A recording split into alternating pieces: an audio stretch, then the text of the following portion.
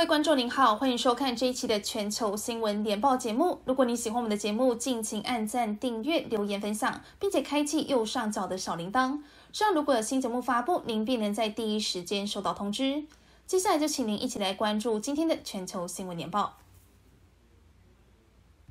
中国广州市六号当日新增一千九百三十五例本土病例，比此前一天的一千三百二十五例增加了六百一十例。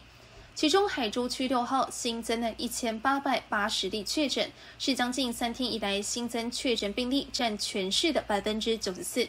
官方宣布，已经静默管理三天的海珠区，持续在延长四天的管控措施。广州市下午召开疫情防控新闻发布会，通报海珠区当天新增一千八百八十例确诊，近三天该区新增确诊人数占据全市的百分之九十四。凤阳街康路片区以及赤岗街客村、大塘片区的感染人数占据全区的百分之八十四，是本次疫情之中的集中爆发点。多地社区传播风险依旧存在。目前海珠区是本轮疫情防控主力，当局决定加强全市常态化核酸检测的同时，向海珠区派出两千五百名医护人员进驻高风险地区，支援核酸采样。目前已经转运的涉疫人员有三点四万，而今天是海珠区强化社会面管控的第三天。当局表示，由于近日海珠区当天新增确诊人数持续走高，社区传播风险依旧很大。根据疫情防控情势，决定延长海珠区的社会面疫情防控措施到十一号夜间十二点。中国最高人民检察院以涉嫌受贿罪、利用影响力受贿罪。对内蒙古自治区高级人民法院原党组书记、院长胡一峰作出逮捕决定。根据中国央视的报道，中国最高人民检察院消息，胡一峰涉嫌受贿、利用影响力受贿一案，由中国国家监察委员会调查终结，移送检察机关审查起诉。目前依法以涉嫌受贿罪、利用影响力受贿罪对胡一峰作出逮捕决定。该案目前正在进一步办理之中。现年六十八岁的胡一峰是蒙古族，曾经做过内蒙古党委政法委副书记、自治区人大委员会秘书长、内蒙古自治区高级人民法院院长、党组书记。而在今年四月，中国中纪委国家监委网站发布消息，胡一峰涉嫌严重违纪违法，接受中央纪委国家监委调查审核。同年九月，胡一峰被开除党籍，当时中纪委通报。威风涉嫌违规选拔干部、家风不正、对子女失管失教、道德败坏、犯罪执法、以案谋私、大肆干预跟插手司法活动、搞权权交易，严重破坏司法公信力。本月中旬即将在东南亚举办二十大工业国峰会跟亚太经济合作会议 （APEC），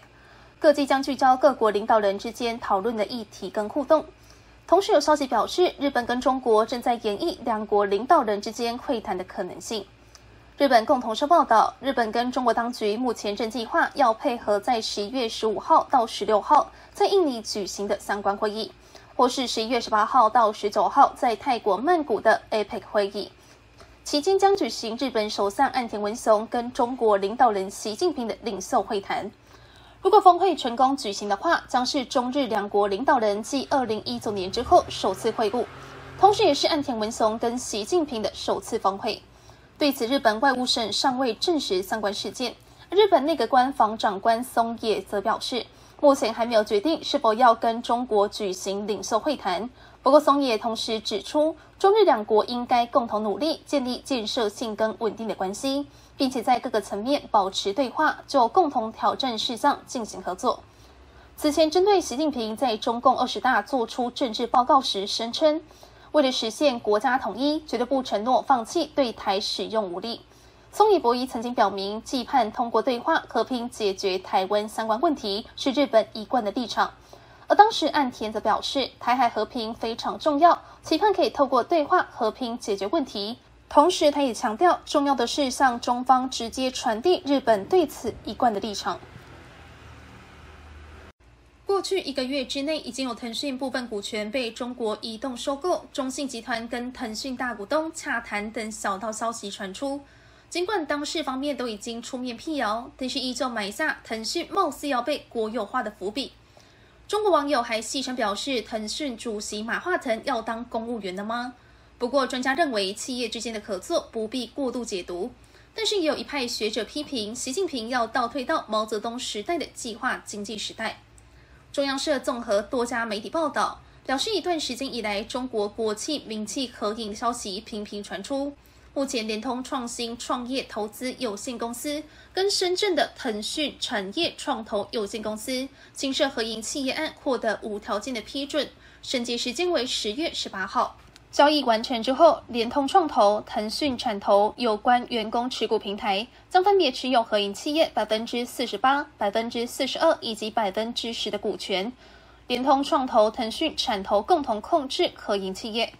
对此，北京邮电大学经济管理学院教授郑建秋表示，三大电信营运商跟大型网络企业的合作由来已久，他认为不必过度解读。独立电信分析师马继华也认为，联通有网络资源跟基础设施，腾讯有技术方面的优势，双方可能做具体业务合作，也可能透过新式的可以企业投资相关领域其他有发展前景的企业。不过，另一派人士则抱持不同看法。海外的政治评论人士张峰指出，唯有计划经济可以实现对整个社会的控制权，而自由的名气是鼓励自由市场的经济，正好跟集权相对抗，所以中共必须限制住相关的名气。此外，一位历史学家宋永义也认为，这说明习近平要倒退到毛泽东时代的计划经济，公私合营、人民公社，由此经济发展很快会产生下滑。中社则提到，美国之音在二零二一年曾经报道，上个世纪五零年代时，中共针对民族企业家发动的公司合营运动，强行收购民企股份，将私人财产全部归划国有。而在中国当局发出的共同富裕号召之后，美国投资银行高盛分析师曾经在一份报告之中写道，在一个极端情形之下，中国私营企业可能被国有化，或者盈利能力会受到管制。因为时隔七十年之后，公司合营山芋又来了。在中国动态清零方针之下，许多地方因为防疫过度酿成悲剧。继甘肃兰州南红身亡案件之后，日前再度发生内蒙古呼和浩特妇女坠楼身亡事件，引起中国全国关注。尽管前线医疗跟救援机构指出，类似非正常死亡事件发生频繁。不过，中国官方职能机构目前正将中国自杀数据列为国家机密，严禁外泄。综合 BBC 中文跟自由亚洲电台报道，内蒙古呼和浩特十一十一月四号传出一件居民坠楼的悲剧。网络上流传的录音跟影片显示，一名妇女从十二楼坠楼，坠楼妇女的女儿想冲出家门看母亲，但是却被焊死的铁皮门封住。着急又悲痛的女儿不断哭求物业打开铁门，住户们也纷纷声援求情。对面的住户也喊着开门开门，但是物业依旧拖了十几分钟才开门，而救护车更是超过半小时之后才抵达。坠楼的女子早就已经不幸身亡。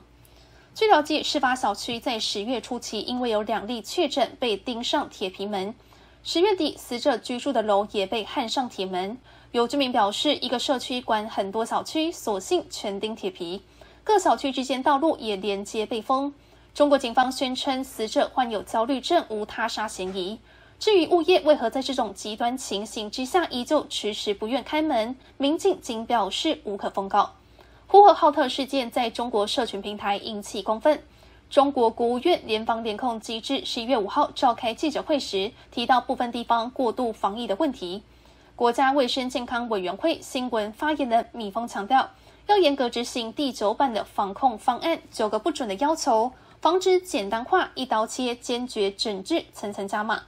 但是他同时却又表明，中国依旧面对境外疫情输入跟本土疫情传播扩散的双重风险，防控情势依旧严峻复杂，要坚持外防输入、内防反弹总策略，以及动态清零总方针毫不动摇。对此，中国清华大学社会科学院学院院长彭凯平公开演讲资讯曾经说过，中国疫情这三年以来，糖尿病跟自杀已经成为受到疫情影响导致的非正常死亡的主要因素。不过，他在公开演讲之中没有列举相关数据。但是根据今年三月上海封控期间，上海当地民众表示，严厉封控导致的精神疾病问题，目前正被全面掩盖。封控期间跟解封之后，上海市精神病院爆满以及频发的跳楼自杀事件，都已经凸显出问题非常严峻。但是到目前为止，中国官方都没有任何消息的披露。一位中国医疗从业人员也证实，疫情导致民生恶化，以及很多底层民众精神健康情形恶化，完全属实。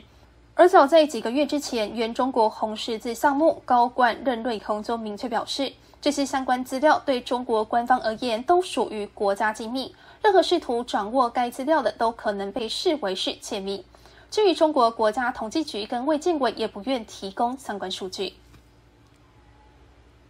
在中国一片备战声音之中，八号上午开始一点六天在珠海展开的中国航空展览格外引人关注。中国空军发言人表示。本次参展的包含投入新时代练兵战备的五十款武器装备，届时服役之中最现代化的歼二十将首次降落珠海做公开展示。不过，不少军事迷反而更加关注在俄乌战争之中大量使用的无人机，其中第一次公开展示的攻击二无人机最受瞩目。法广报道，中国自主研制的新一代隐形战机歼二十，虽然在二零一六年。也在航展之中静态亮相，不过今年将会进行动态飞行展示。此外，增强航空兵远程机动能力的运油二十，以及军用代号攻击二的中高空长程打击翼无人机，也将以实际飞行行动参与状态。地面静态展演的部分包含空警五百、轰六 K、无侦七、无侦八、无侦十等无人机一并亮相。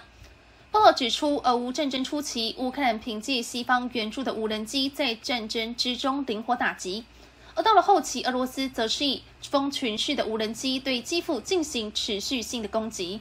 俄罗斯甚至使用伊朗的自杀式无人机，获得非常显著的效果，这使得中国制造的无人机也成为外界关注焦点。不过，深圳的执新闻表示。